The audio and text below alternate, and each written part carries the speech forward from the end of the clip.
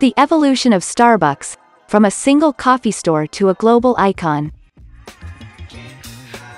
In the early 1970s, Starbucks was just a single coffee store in Seattle's Pike Place market.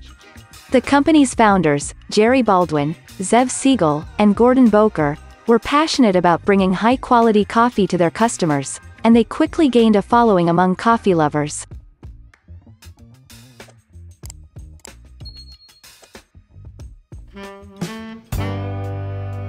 But did you know that the original inspiration for Starbucks came from a trip to Italy?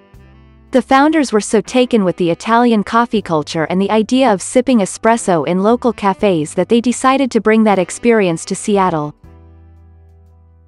And thus, Starbucks was born.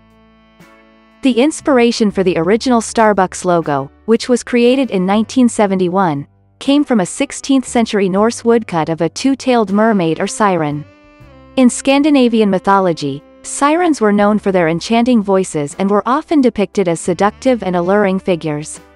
The founders of Starbucks saw the siren as the perfect symbol for the seductive allure of coffee, and decided to feature her prominently in their logo.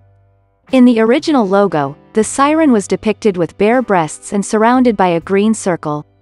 Over the years, the logo has gone through several changes, but the siren has remained a constant element. In 1987, the siren was given a more modest appearance, and in 2011, the company introduced a simplified version of the logo, featuring just the stylized siren, free of any circles or text. The Starbucks logo has become one of the most recognizable logos in the world, and the siren continues to evoke the company's commitment to high-quality coffee and its seductive allure.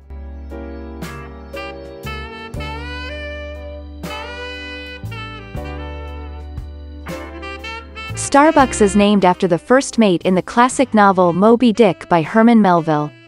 The founders of the company were inspired by the name, Starbuck, and thought it evoked the romance of the high seas and the seafaring tradition of early coffee traders. In addition to its nautical connotations, the name, Starbucks, also has a more celestial meaning. According to the company, the name is meant to evoke the romance of the high seas and the seafaring tradition of the early coffee traders, as well as the company's own mission to be a place of inspiration and a source of energy. In the 2000s, Starbucks continued its rapid expansion, opening stores in markets all over the world, including Europe, Asia, and the Middle East. And in an effort to appeal to a wider audience, the company began offering more food and drink options, including breakfast items and pastries.